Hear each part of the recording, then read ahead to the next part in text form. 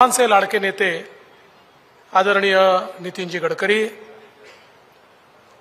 महाराष्ट्र राज्याचे धडाडीचे उपमुख्यमंत्री आमचे सहकारी अजितदादा पवार उपसभापती माननीय नीलमताई गोरे पुणे जिल्ह्याचे पालकमंत्री माननीय चंद्रकांत दादा पाटील आपले सन्मान्य खासदार श्रीरंगप्पा बारणे सन्मान्य आमदार भीमराव अण्णा तापकीर सुनीलजी कांबळे माधुरीताई मिसाळ उमाताई खापरे सिद्धार्थजी शिरोळे राहुलजी कुल संजयजी जगताप दिलीपजी मोहिते माजी खासदार शिवाजीराव आढळराव पाटील हर्षवर्धनजी पाटील मेधाताई कुलकर्णी बाळाभाऊ भेगडे मुरली मोहोळ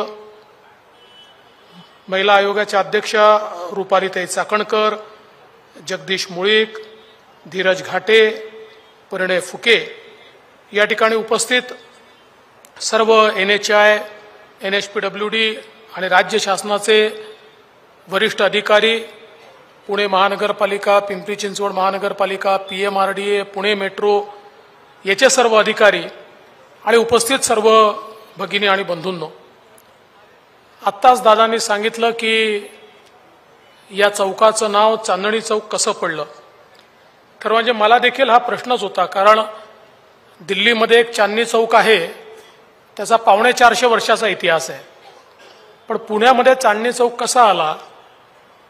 मला तर असं वाटत होतं की या ठिकाणी ट्रॅफिक जाममुळे लोकांना दिवसा चांदण्या पाहाव्या लागतात म्हणून कदाचित याचं नाव चांदणी चौक पडलं असेल.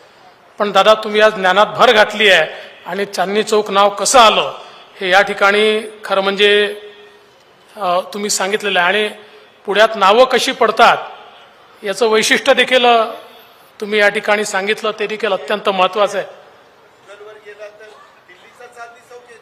पुण्याचा चांदणी चौक येतो.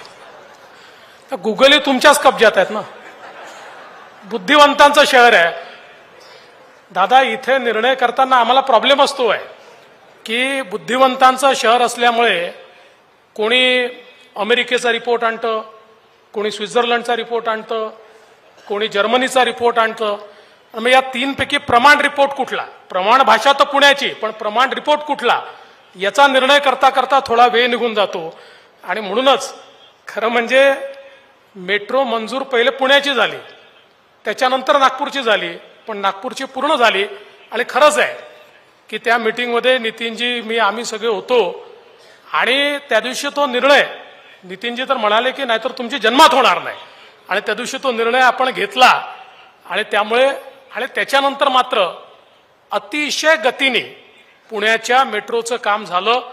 आणि आता मला न्यूज पाहून देखील अतिशय आनंद वाटला की इंटरचेंजचं स्टेशन झाल्यामुळे पुणे मेट्रोमध्ये आता केवळ वाढदिवस साजरे होत नाहीत तर त्या ठिकाणी खरोखर आपले लोक प्रवास करायला लागले आहेत. प्रवाशांची संख्या वाढते आणि आता हे वन कार्ड या ठिकाणी तयार झाल्यामुळे त्याचा देखील फायदा होईल. पण हर्डीकरांना माझी सूचना आहे आणि त्यासोबत पुणे महानगरपालिका पिंपरी चिंचवड महानगरपालिका आणि पी एम पी एल यांनाही माझी सूचना आहे की हे जे वन कार्ड आपण काढलेलं आहे आता पी एम पी एलला देखील हेच कार्ड लागू होईल. अशा प्रकारचं वन कार्ड झालं पाहिजे. म्हणजे या कार्डावर मेट्रो आणि आपली बस सिस्टीम ही सगळी एकत्रित चालली पाहिजे.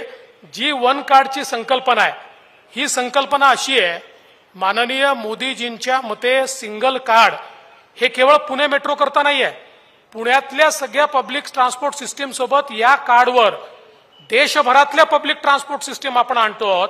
पुढच्या काळामध्ये मुंबईला गेलं तरी पुण्याचं कार्ड दाखवून मुंबईच्या मेट्रोत प्रवास करता येईल. दिल्लीला गेलो तर दिल्लीच्या मेट्रोत प्रवास करता येईल. लखनौला गेलो तर लखनौच्या मेट्रोत प्रवास करता येईल. अशा प्रकारचं हे वन कार्ड आहे. त्यामुळे ही चांगली सुरुवात झाली आहे. मागच्या काळामध्ये पुण्यामध्ये पी एम पी एलमध्ये सगळ्यात मोठी इलेक्ट्रिक बसची फ्लीट आपण तयार केली. त्यावेळेस मी राज्य सरकारच्या वतीनं मोठ्या प्रमाणात या ठिकाणी बसेस खरेदीला अनुदान दिलं. आज देशामध्ये सर्वात जास्त इलेक्ट्रिक बसेसची फ्लीट जर कोणाजवळ असेल तर ती पी एम पी जवळ आहे. आता पुढच्या काळामध्ये ती मुंबईकडे होणार आहे कारण त्यांनी आता तुमच्यापेक्षा जास्त बसेस घेण्याकरता ऑर्डर दिला आहे पण पीएमपीएलला पंधराशे बसेस आपल्याला इलेक्ट्रिक बसेस घ्यायचे आहेत. आणि माझं असं मत आहे की आपण जर इंटिग्रेशन ऑफ ट्रान्सपोर्टेशन सिस्टीम केली बघा आता जसं मेट्रोचं कनेक्टिव्हिटी वाढते तसे लोक वाढत आहेत शेवटी ट्रान्सपोर्टेशनचा सगळ्यात महत्त्वाचा भाग असा असतो की लोक पब्लिक ट्रान्सपोर्ट तेव्हाच यूज करतात जेव्हा एंड टू एंड अशा प्रकारचं सोल्युशन असतं. माझ्या घरून निघालो तर मला जिथे जायचं आहे त्याच्या पाचशे मीटरपर्यंत कुठलं तरी पब्लिक ट्रान्सपोर्ट मला वापरता आलं तर मी पब्लिक ट्रान्सपोर्ट त्या ठिकाणी वापरतो.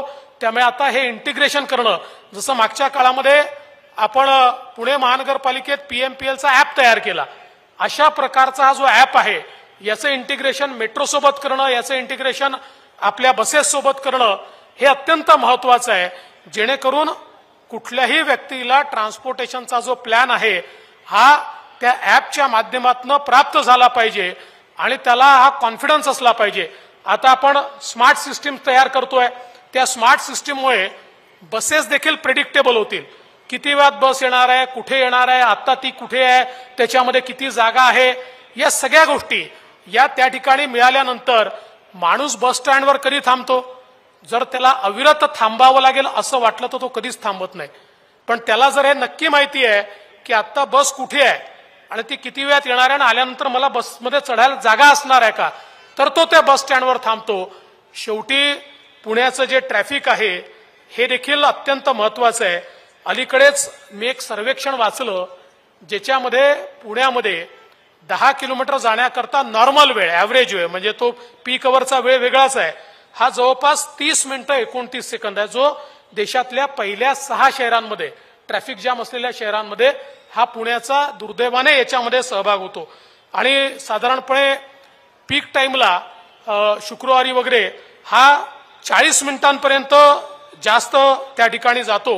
आणि म्हणून ही जी काही वाहतूक कोंडी आहे ही वाहतूक कोंडी जर आपल्याला कमी करायची असेल तर त्याकरता पब्लिक ट्रान्सपोर्टेशन सिस्टीम असेल किंवा ज्याचा उल्लेख आता अजितदादांनी केला पुणे रिंग रोड सारखा. रिंग रोड हा पुण्याच्या वाहतुकीला त्या ठिकाणी निश्चितपणे ईज करू शकतो.